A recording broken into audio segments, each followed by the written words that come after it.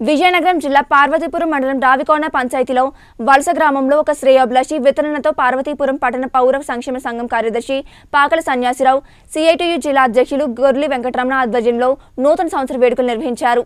ఈ సందర్భంగా cake cutting చేశారు. ప్రతి ఇంటికి దుప్పట్లు పంపిణీ చేశారు.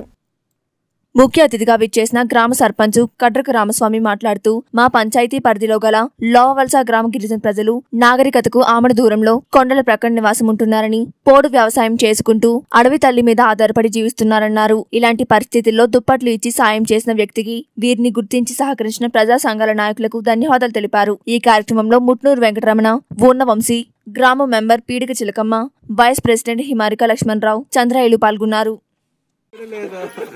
Happy New Year! Happy New Year! Happy New Year! Happy New Year! Happy New Year! Happy New Year! Happy New Year! Happy New Year! Happy New Year! Ramaswamy, నువ్వే తినిపించు ఏ పిల్లలకు పిల్లలకి తినిపించు ఆ? పిల్లలకే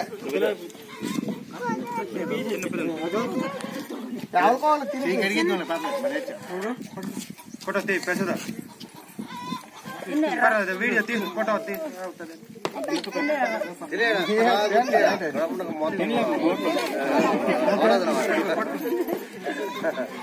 ఆ, ఇంకోటి తినిపించు.